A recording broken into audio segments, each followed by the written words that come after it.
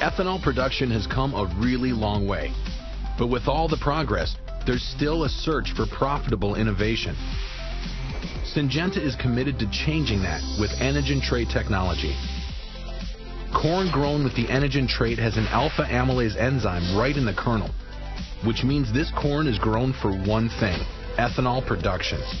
And it's this very corn that could make the difference between turning a profit or not. So let's break it down. The production gains all stem from viscosity. When you mill traditional corn, the slurry is thick, but when it's combined with Enogen corn, unique enzyme activity makes the slurry far, far more fluid.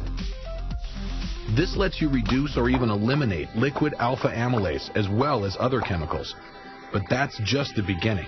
As the slurry moves through the production process, the corn to water ratio is increased. This reduces the amount of water and energy required, ultimately saving natural gas costs by up to 10%.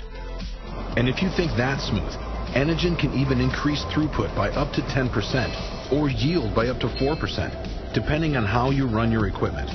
Either way, you can be more profitable because no matter what the market conditions may be, Enogen corn can make more ethanol for less money.